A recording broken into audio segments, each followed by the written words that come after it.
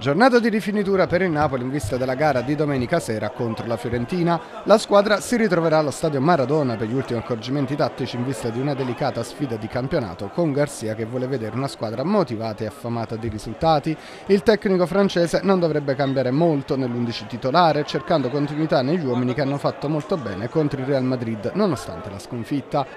Almeno 10 degli 11 uomini che sono scesi in campo martedì in Champions faranno parte della formazione titolare. È ipotizzabile che scenderanno in campo così, con Meret tra i pali, linea difensiva con Di Lorenzo, Ostigard, Nathan e Mario Rui, in vantaggio su Olivera dopo le polemiche del procuratore Giuffredi. Anghissalo, Botka e Zelischi a centrocampo il tridente sarà composto da Politano, Osimenec, Varaschelia.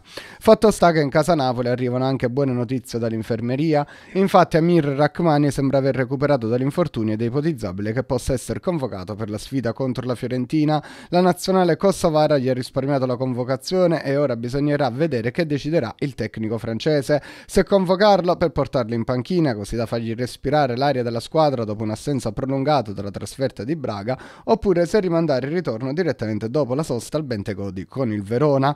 Intanto sorge sempre di più un interrogativo in casa Napoli che ruota intorno a Giacomo Raspadori.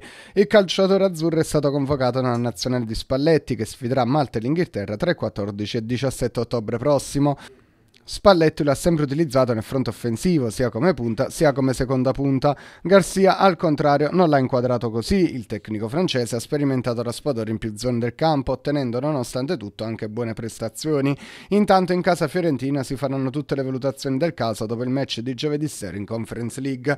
Potrebbe arrivare la terza gara in sette giorni per Beltran, che italiano sembra orientato a preferire Anzola al centro dell'attacco viola. Gonzales, Bonaventura e Brecalo girano alle spalle dell'argentino, mentre Duncan e Arthur saranno lo schermo davanti alla difesa. Cotterranciano in porta, a destra non ci sono alternative a Cagliode, mentre a sinistra dovrebbe toccare a Parisi. Al centro della difesa la coppia Milenkovic-Martinez quarta.